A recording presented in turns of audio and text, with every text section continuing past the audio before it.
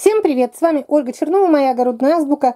Все так же 10 апреля. Здесь утром я заходила и говорила, что будут они у меня два дня в укутке, томаты. Буду ли открывать, не знаю. Очень холодно на улице. И все-таки как непредсказуема весенняя наша погода. Несколько часов всего меня не было в теплице. Солнце выглянуло. Я пришла. Хорошо, что успела. Немного бы опоздала и все. Температура уже раз, два, три, ну, вот здесь показывает у меня 38. Ну, короче, за 30 точно есть. Потому что я смотрю, уже томаты, они у меня были открыты. Они уже немножко даже листья подвяли. Утром я боялась, что они замерзнут. Открывать или не, не открывать. Теперь я уже прибежала, чуть они у меня не сгорели. Даже вот видите, у меня дверь открыта. Решила экстренное проветривание сделать, чтобы не было беды, чтобы они не сварились. И вот опять вспоминаешь про форточки автоматические, которые раз и открылись бы. Бегаю три раза на день.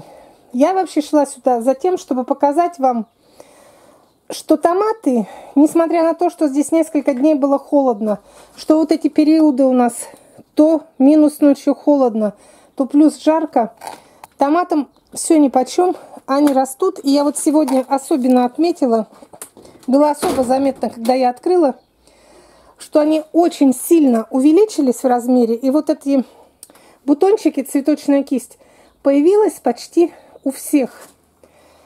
Короче, я тут бьюсь с холодом. То их открываю, то их закрываю. Я боюсь, как бы они не замерзли. Вот видите, вот эти вот выдвинулись вообще у всех, у которых даже не было. А они растут, все у них идет своим чередом.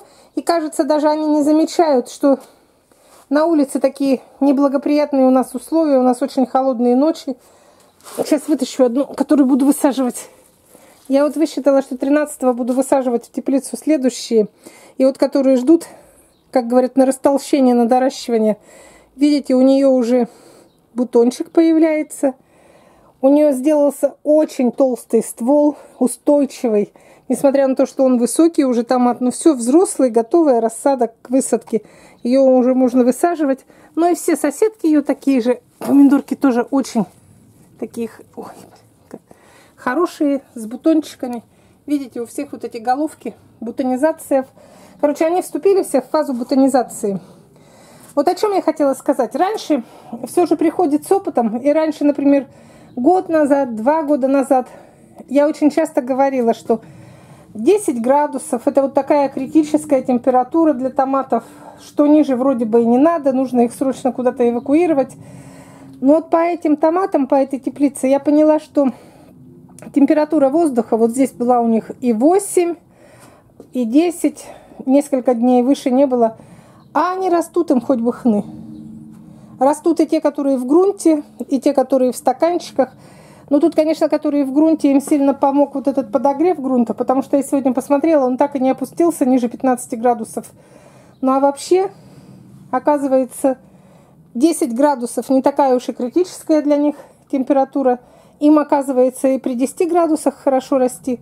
Но они прям вот увеличиваются на глазах. Вы видите, какие я показывала до этого? Я обычно вот на эту сторону сразу выхожу, температуру смотрю, все. И сейчас они уже разрослись, лес густой. Конечно, очень неудобно. То нам холодно, то нам жарко. Погода, вот эти температурные показатели скачут. Вчера был снег, сегодня такая жарища, что не знаешь, то ли опять их прикрывать вот этой нетканкой. Я боялась, что они у меня не просохнут в конденсате. Тут уже и конденсат давно высох, и они уже даже подвяли. Вот такие капризы у нас природы. Но томатам ни почем. И кто-то спрашивает, что ой, зачем так рано, да вы так мучаетесь. Не жалейте меня, я не мучаюсь. Это ведь такое удовольствие. Я получаю от этого даже наслаждение выращивания растений. Заходишь в теплицу.